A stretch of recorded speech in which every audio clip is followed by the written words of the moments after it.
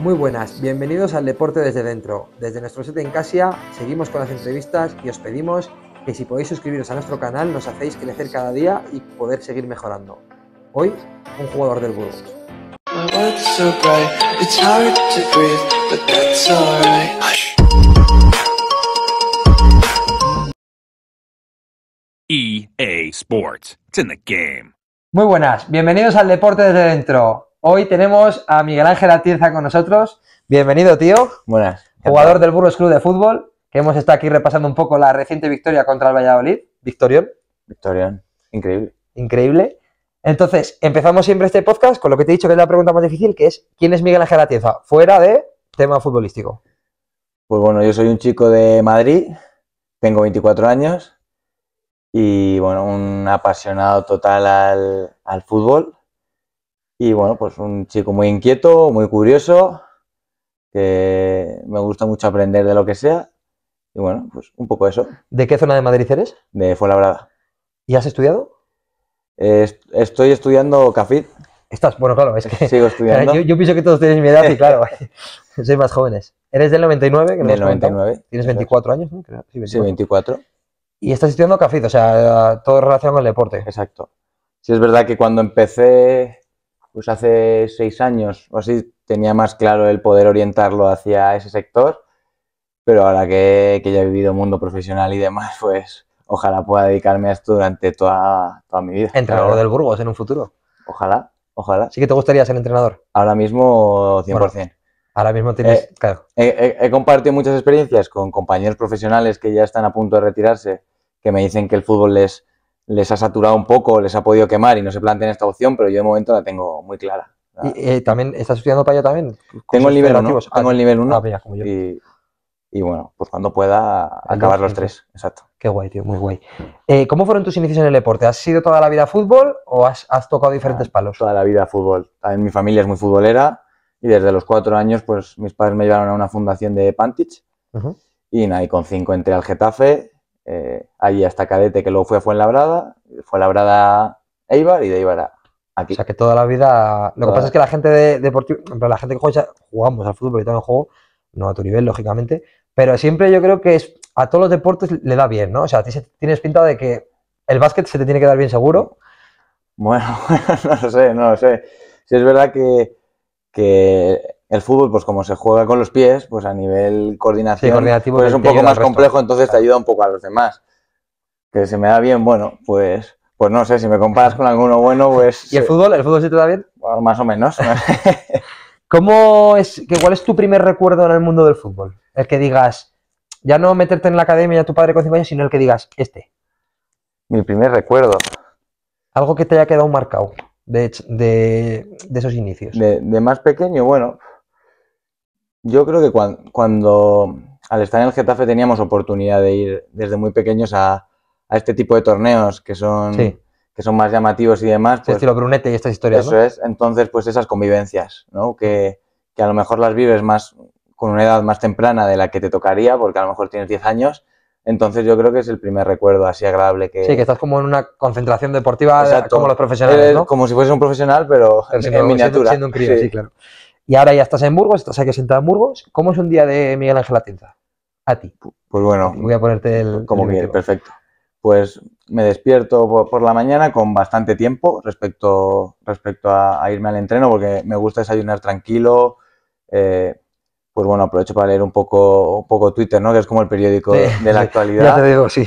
Y bueno, eso, desayunar tranquilo, entrenar, luego pues comer en casa y luego pues las tardes depende, pues algunas las dedico a estudiar, otras pues, pues con, con mi mujer en este caso, pues para desconectar cada uno de lo nuestro, pues hacemos algo diferente o simplemente salimos a, a dar un paseo y demás.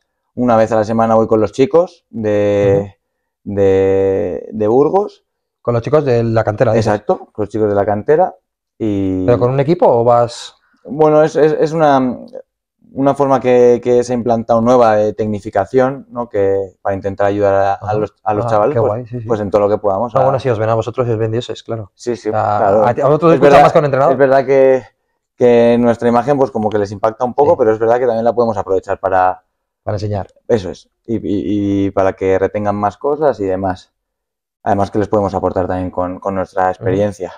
Y luego, pues bueno, pues eh, cenar y, y antes de dormir, pues, pues según el tramo, pues soy o de series o, o de leer. Ahora estoy leyendo más, pero hay veces que soy también de series, así que Una es- vida es un poco mi, mi día. Una vida muy normalita. Muy normal, Muy normal, ¿no? eso es. Claro.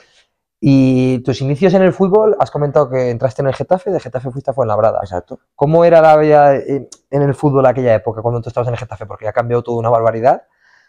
Estás hablando que hace 14, 15 años, ¿no? Me imagino. ¿Con cuántos No, Yo entré al Getafe con cinco. con 5, hostia, más, entonces, casi 20 años. Sí. ¿Cómo era, cómo era el fútbol de Getafe en, en aquella época? El- ¿A nivel cantera o a nivel club? Ah, tota- a nivel club y a nivel cantera, porque al final, a nivel club me imagino que dos- hace 20 años, época de Suster, época de... Bueno, pues acaba de subir el Getafe sí, con eso. Quique Sánchez Flores, esa estuvo época. Suster, estuvo Laudrup, pues, pues te diría que han, pues de los mejores años del Getafe que Sí, que además éramos, jugó éramos socios y hemos visto partidos pues allí de, de Europa, Bayern, Bayern de Múnich, me acuerdo yo de esa de finales ese de. Copa también hemos Sí. visto, así que así que muy bien y bueno, pues a nivel cantera la verdad que no que no recuerdo mucho, o sea, recuerdo la competencia con, con los grandes de, de Madrid, que siempre están en el Real Madrid y el Sí, Atlético Madrid por encima, el Rayo también, y no, no recuerdo tampoco, o sea, un club en mucho crecimiento. ¿Y a, con qué años fichas por el Fuenlabrada? Yo llego con 15, O sea, sigues en la, es la cantera del Fuenlabrada, del Fuenlabrada. exacto, Y llegas a debutar con el primer equipo. exacto. O sea, empiezo segundo año cadet, eh, cadete segundo año, hago juvenil de primero y juvenil de segundo ya debuto en, en segunda B. ¿Siempre has jugado en la misma posición? De, eh, de más pequeño juega de central. Entonces, Eras altito, ¿no? Me imagino. es, eras alto, de- delgadito. Sí, claro. Y luego eh, con los años, pues, pues me, me pasaron a medio centro y ahí, Y ahí te has quedado. y ahí me he quedado. ¿Y debutas con el Fuenla? ¿Qué tal el debut? ¿Debutas en segunda? ¿Cuándo el Fuenla está en segunda? En segunda B. Segunda en segunda B. Pues debuto en la del Carnero, empatamos a cero, un partido muy, Sí, de segunda B. exacto, muy normalito. de segunda B. Y bueno, recuerdo pues, pues con tensión, con nervios, eh, porque al final, pues es verdad que cuando tienes 17 años ves, ves mu- muchísima diferencia Sí, de, de sí, cuerpo, de demás, pero es verdad que, que siempre he confiado mucho en la capacidad de adaptación que tengo a la categoría y demás, entonces pues, pues bien, la verdad que bien. Y luego vas a Eibar, que eso ya hablamos Exacto. de Eibar. Yo, por ejemplo, lo tengo como un club referencia, un club que hace muy bien las cosas. Ahora igual está un poco más bajo, pero ¿cómo es Eibar? Pues, o sea, Eibar a nivel, a nivel de club yo creo que, que para nosotros debería ser todo un referente porque han hecho muchísimas cosas bien. Es un club muy humilde, muy familiar y, Campo muy curioso, ¿eh? Campo muy curioso, muy acogedor, Además, yo no, est- hemos Sí. estado allí con el Burgos y... pequeño. Además parece un poco como, como un teatro, ¿no? Porque lo ves, Mm. lo ves desde arriba, sí, ¿no? A pie de campo no hay. Entonces, pues bueno, la verdad que, que un club referente, sin Co- duda. ¿Coincidiste en Eibar con algún jugador? ¿Coincidiste con Llorente o alguno de estos? Sí, con con, Llorente, Fernando un campeón del mundo. Exacto. Que, Qué guay, tío. que la verdad que yo cua- cua- cuando entró al- vestuario por primera vez fue todo como un impacto, ¿no? Que, Sí. que hace aquí a nuestro ¿Qué, lado. qué le digo, no? ¿Qué le digo? Exacto. Es, es cercano. Muy es- cercano. Muy que- cercano. es que- y muy buena gente. Entendemos que los futbolistas son Mm. eh, dioses y tal, pero luego al final Mm. son gente, soy gente muy normal. No, no, no, O sea, de hecho a mí me sorprendió gratamente porque lo mismo que lo piensas tú lo pensaba yo, ¿no? Que a lo mejor estamos aquí Sí, claro. cierta cantidad de jugadores, pero los que son más élite, pues, pues Están en son élite, distintos, sí. ¿no? Pero a nada. O sea, ¿Y qué tal la experiencia en Eibar? Pues fantástica. Al final allí cumplo, llego para el filial, pero cumplo el sueño de, de mi vida, que es jugar en primera división. Y, y luego, pues el jugador que llega allí y el jugador que se va, pues es uno Es diferente. ¿no? totalmente distinto y, y- y me ha abierto la puerta al fútbol profesional. ¿Qué siente un jugador al debutar en primera? Pues difícil de, de describir con palabras, la verdad. Al final es, me costó tiempo valorarlo, me costó tiempo valorarlo, pero eh, cuando he vuelto a ir a- a- al sitio donde debuté, que fue Mestalla, pues, pues yo creo que, o sea, es, es como un sueño, ¿no? Es- ¿sabes? Tú sí. contra Valencia, sí. buen campo para debutar, ¿eh? Sí, buen campo y pues, pues como un sueño, es un sueño cumplido realmente. ¿no? Bueno. Luego con el tiempo vas sumando más partidos y, Sí, claro, sí. y lo vas viendo a lo mejor, pues bueno, más realidad o más cercano, pero el Más normalidad. Exacto, pero, pero el primer día es como un sinfín de emociones. Bueno, pero luego llega tu verdadero sueño, que es jugar en el planteo, Exacto, ¿no? exacto. Que además hay algo que la gente no sabe. Mi primer partido aquí, que fue con 17 años, a mí me expulsan con el Fuenlabrada. ¿No? ¿Aquí en el sí. planteo? O sea, que habéis, habéis jugado aquí ya... Ah, bueno, Sí. claro, en segunda vez, claro. En segunda vez es un partido de Copa Federación, que enero, un frío, el día No, más frío en mi no, vida. hombre. pero- no, pero- en Burgos no hace frío. Pero ahora no hace tanto. Ahora ya te has Ese- acostumbrado, hombre. Pero, ¿Cómo, ¿Cómo será ese fichaje? Eh, pues bueno, cuando entendemos que mi etapa en, en Eibar pues, pues estaba llegando a su fin o era mejor buscar un, un cambio de aires, mejor para todos, pues bueno, ahí se abren varias opciones y aparece la opción Burgos con, con un, un encuentro con Michu y una llamada de Calero que, pues, que, que fueron claves, desde luego. Michu. Sí, sí. Michu es el mejor.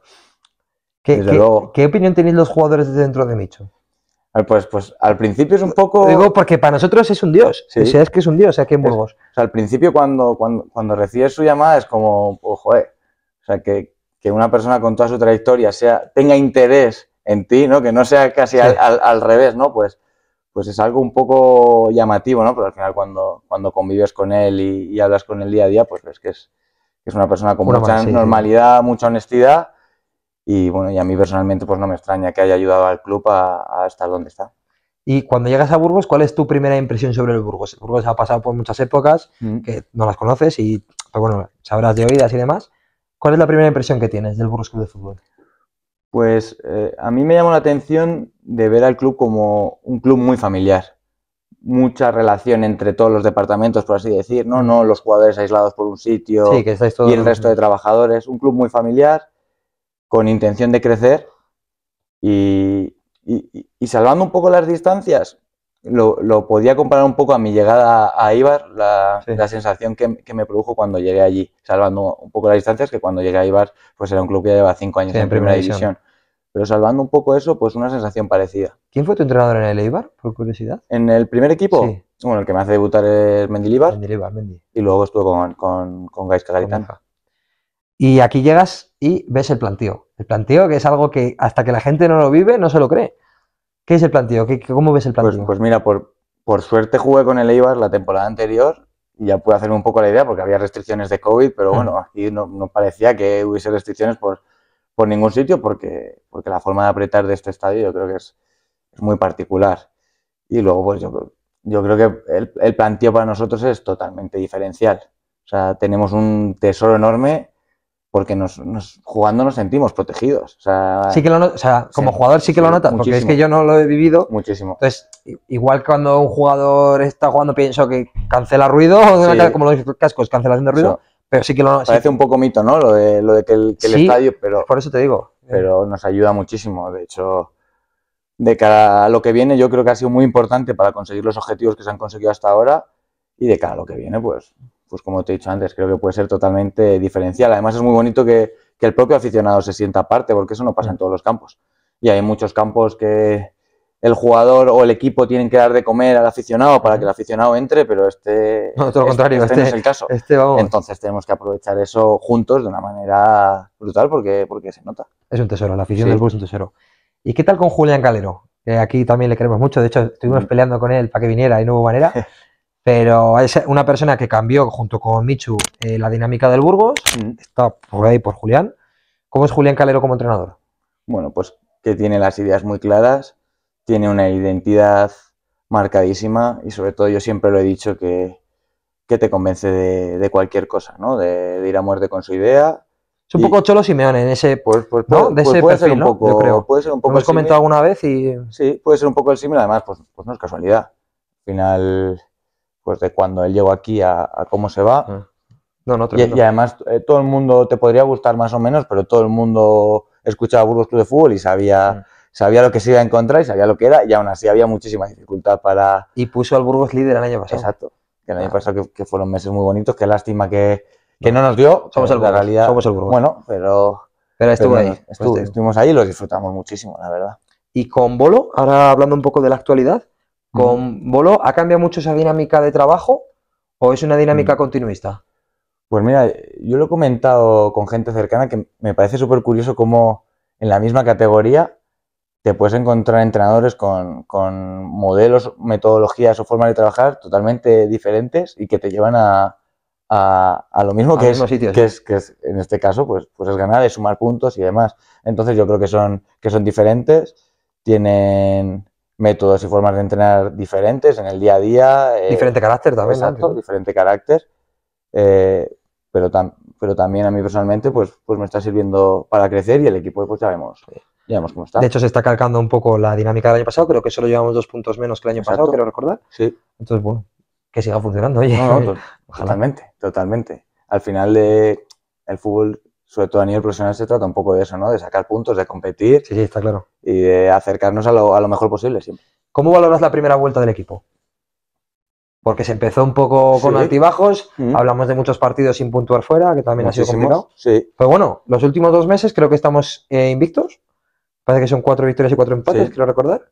¿Cómo ves la Yo primera creo que el vuelta? equipo ha crecido muchísimo. Ha crecido muchísimo porque es verdad que esa, esa irregularidad muchas veces te hace tener sensaciones no siempre buenas, ¿no? Porque después de una victoria no ser capaz de sumar nunca fuera de casa, pues, pues es algo que cuesta y realmente cuando van pasando las jornadas, pues, pues empieza a pesar, ¿no? Pero, pero creo que, que el equipo ha entendido qué es lo que necesita para, para ser competitivo siempre y, y ese crecimiento yo creo que es lo que nos ha llevado a competir los dos últimos meses como lo hemos hecho. Puede llegar a ser un bloqueo mental. Es verdad que el bloqueo mental en el deporte existe. El hecho de, de ya, joder, casa gano, pierdo fuera, pierdo fuera, pierdo fuera. Llegas, cuando por Mm. ejemplo llegas con cuatro derrotas seguidas fuera, como estábamos, o con cinco, llegas ya pensando en. A ver, las, las primeras semanas no, pero, pero al final es que realmente, o sea, no, no era muy normal porque a lo mejor partidos en casa que no habíamos hecho lo suficiente para, ganar, los ganábamos, sí. y partidos fuera que habíamos hecho para merecer más puntos, pues no los habíamos tenido. Y si llega un momento que, que tienes la sensación de, joder, es que me, me va a pasar algo malo, pero realmente me lo estoy generando yo. Entonces, bloqueo no, pero al final yo creo que es natural. Si, o sea, el, el- el día de. Tienes ese miedo, ¿no? el- Por decirlo de alguna manera. no, No, sé Ese- miedo, pero te puede que el, día de Ferrol fue como un día de, Sí. de librarse, de decir, porque, Por fin. porque ese día tuvimos encima un, un currele de, de la leche para decir que se acabase esto ya. Entonces, pues, Bueno, yo Pues creo bueno. que a nivel general los partidos del Burgos son todos de currar, ¿eh? Porque no, pero como el Burgos Pero- no ocurre, Exacto, eso exacto, pero, pero, pero ya llegas un momento que fuera de casa y dices, quiero puntuar para quitarme toda la cabeza, porque al final es que lo ves día a día y, y- y todos preguntan sobre eso y demás, y es algo que es extraño en el fútbol, pero bueno, que puede pasar y, y hay que darle normalidad dentro, dentro de lo malo para, para poder darle la vuelta. le habéis dado la vuelta y ahora venimos de una reciente victoria contra el eterno rival, el Valladolid. Cuéntanos un poco Mm. cómo has vivido ese partido. Pues bueno, lo puse en redes sociales un poco también, para mí de, entra en el top de noches especiales que hemos vivido en el plantillo por, pues por, por lo que, por lo que genera la gente, desde que entras al campo, por el, el momento en el, que, en, el que, en el que marcas gol, que es muy rápido, en el momento que estás sufriendo, en el momento que se acerca al final y luego la, la, la forma de celebrar, que creo que es muy importante, porque hay que valorar las cosas, que no es nada fácil en esta categoría. No, no, para nada. Ni menos contra este tipo de rivales que Exacto. no hablemos de presupuestos, claro. Además, pero, pero en, cualquier momento, ¿no? Entonces, pues, pues ese, ese conjunto de cosas, pues, pues te dejan la sensación de irte a casa con una sensación tre- tremenda. De hecho, bueno, el vídeo que salió del, del vestuario nuestro, pues es Sí. trasladar lo que había pasado en campo al acabar, a trasladarlo dentro. Ah, Fue una unión perfecta, fue, un- fue increíble. ¿Y cómo ves el objetivo del equipo? O sea, ¿qué objetivo tiene el equipo este Mm. año? Porque siempre hablamos de salvarnos, lógicamente, yo también soy de los que piensa que primero sálvate el culo y luego ya miramos, mm. pero ¿cuál es el objetivo? A ver, la- la- es verdad que el, el punto de partida nunca se puede perder porque es clave para, para que el club vaya poniendo cimientos en la categoría y sea más estable. Ahora bien, am- ambición máxima por ser mejores cada día y, y lo que tenga que venir vendrá. O sea, eh, ¿Se habla de playoff? no, no se habla. Esa es mi duda, esa era No mi duda. habla. Esperaba que me lo dijeras, pero te lo tengo que preguntar. No, es- que somos muy... Y tenemos la experiencia del año pasado también. Sí, sí, a Eh, ver, a ver. Al final, Sí. e- e- este año siempre hemos estado en, en zonas intermedias. El año pasado llegamos a estar jornadas líderes, ¿no? Entonces, desde la tranquilidad que, que sabemos que si queremos hacer cosas importantes, tenemos que seguir creciendo colectivamente, individualmente, y tenemos que exigirnos más y, y ser muy, muy ambiciosos porque la categoría te lo requiere, pero sin perder la cabeza y sabiendo que, que lo principal es llegar a esos 50 puntos para que todo siga sumando y creciendo. Es que un playoff para un club como el Burgos y una ciudad como Burgos, eso sería maravilloso. ¿eh? pues espectacular y encima cuando, cuando la gente se pone aquí el, el mono de partidos importantes, pues es una pasada. Un playoff sería partidos importantes y es más, pues si conseguimos que, que todos los partidos que, que queden hasta, hasta final de temporada pues tengan ese, ese plasma marcado, pues estaremos más cerca, pero ya te digo que, que sin perder la cabeza y, y día a día. Luego, a nivel interno, bueno, con todo esto que se está hablando de la venta, que creo que ya se ha producido Mm. tal, ¿cómo afecta eso a un jugador de fútbol? Bueno, real- realmente no afecta mucho porque nuestro día a día no cambia. Es verdad que de cara al futuro, pues todos los cambios generan incertidumbre, pero a partir de ahí eh, creo que tanto Marcelo como Alejandro nos explicaron bastante bien su idea y demás, y a partir de ahí, pues normalidad. Pero ya te digo, es que al, al jugador, el jugador entrena igual, el Sí, jugador hace lo- compite hace lo mismo, igual, ¿no? viajamos igual. Entonces, pues bueno, de cara al futuro, pues todos son cambios, pero, pero ahora mismo Porque a, nivel- a nivel eh, personal, cada uno tendrá su opinión, Mm. lógicamente, sobre la venta. La opinión de la afición, ya lo sabemos, aunque desde aquí ya digo que no todos estamos de acuerdo, ni con unos ni con otros. Creo que antes de juzgar hay que conocer y saber. Mm. Pero, ¿cómo, cómo veis vosotros, co- como aficionados al fútbol, cómo veis este tipo de operaciones? Bueno, pues a- ahora de- eh, o sea, se van viendo cada vez más y, y con, con naturalidad. Hay que entender decir. que son empresas. Exacto. ¿no? Yo creo que aquí todo el, que todo el mundo quiere, o sea, si, si alguien invierte en algo, pues quiere sacar, quiere sacarlo mejor y, y a partir de ahí, pues nosotros nos centramos en lo nuestro y Playoff, playoff, playoff, playoff. día a día, día a día. Día a día, Día a día. ¿ves cómo es Cholo? Cholo Simeone Día puro, día. ¿Y qué jugador te ha sorprendido del Burgos? ¿Qué jugador es el que más te ha sorprendido? Mm. Pues a ver, si es verdad que con la mayoría ya me había enfrentado. Porque, por ejemplo, aquí hace tres años, eh, Caro no era el portero que, o bueno, sería el portero que es Mm. ahora, pero no, no, no tenía esa chispa Sí. que tiene ahora. Eh, Curro el año pasado, to- todos son contextos sí, también, pues te ¿no? Y hay sí. contextos que te encuentras. por ejemplo, yo tengo un eh, Alex Sí. Sancris, la verdad que me ha sorprendido una barbaridad, no esperaba Pues yo lo que si, si te tengo que decir dos, uno sería Alex, porque sí la había visto jugar en, en- en categorías inferiores, pero al final el mantener no, ese sí, nivel sí, en, es en segunda división es sí. complicado y, y creo que lo está haciendo de una manera brutal. Y luego por, por su inteligencia y su forma de entender el juego, Ander. Ander, pero ¿sabes por qué es bueno Ander, no? Porque estuvo aquí. Ah, sea, estuvo aquí, fue Oye, el primero. al final, es verdad que vosotros veis y juzgáis por lo que pasa el Sí, fin de sí. semana. Lógicamente. pero- Pero, eh, tiene un día a día, ¿no? Un trabajo. es, eh, y, y- y yo que lo veo todos los días me da mucha atención en, en diferentes posiciones, contextos, no sé, o sea, se adapta muy bien a, a todo. A, a mí me ha sorprendido. Buen fichaje, entonces. Sí, desde luego que sí. Y el, hace poco nos enfrentamos al Mallorca, un equipo rival de primera división. Mm. ¿Hay tanta diferencia en el campo entre un equipo de primera y segunda? Diferencia en- en- a nivel general te diría que no, pero en las cosas que marcan diferencia sí, y, y- y se vio. O sea, es, O es sea- que, es que es- era una sensación de, impoten- de impotencia de. Porque la realidad es que el partido no, no, No. no estuvo tan diferente. Claro, es, ¿No? el mismo Aguirre lo dijo, Exacto. que no era el resultado como Sí. pa. También hubo un par de errores que bueno, Sí, que pero- tal. Pero pero- dentro del campo, ¿qué, se- qué se nota? No sé, yo, yo que empecé en el banquillo y cuando estoy en el banquillo, pues me, me gusta fijarme en contrarios, pues para saber luego lo, lo que me voy a encontrar y demás. Y, y es que creo que, o sea, su, su, su peor nivel es muy alto. Yo soy un obsesionado de eso, ¿no? De, de mejorar el peor Sí. nivel y, y veías, pues a nivel de conceptos futbolísticos, de pues, muchísimas cosas que son competir, ¿no? Ya no te hablo de calidad, pues que obviamente hay, hay diferencia, pero, pero tú veías a, a los centrales cómo defendían el espacio, cómo defendían el área, o cómo se juntaban todos para, para defender en sus momentos, en sus peores momentos, por así decir, pues eso dices, joder. Es que, y este, y este se supone que es un equipo de, de mitad para Claro, la tabla, por ¿no? eso te lo decía, que si te enfrentas Y- a un y su- Valencia, y su nivel, y su nivel es completamente, es altísimo. Su nivel es altísimo y o sea, que sí que se nota. sí, Se sí, nota que ese saltito. O sea, que el. Burgos, si subimos a primera, las vamos a pasar nosotros, ¿no? Joder, pues cualquier equipo que suba por primera Ah, vez. sí, no, está claro. Sí, sí. Bueno, mira, Leibar, el Leibar subió, ¿cuántos años estuvo en...? Oh, en- pero el, prim- el primer año, Bajo. el primer año acaba en descenso, pero por pero luego subió, ¿no? No, por descenso administrativo de Ah, otro sí, es equipo. verdad, es verdad. que al final es complicado después de una primera vuelta que hicieron espectacular. Sabes que Es que las ligas son muy largas, ¿eh? la- las categorías de fútbol profesional o sea, son impredecibles también. Vale, pues ahora te vamos a hacer el reto de Gamonal Abogados, Ah, que no sé si te lo han contado. Pues no, no me han contado. Tienes que hacer cuatro Mm. burpees, cinco sentadillas. ¿Cuatro? Cuatro. ¿Solo? cuatro, solo pues están relajados.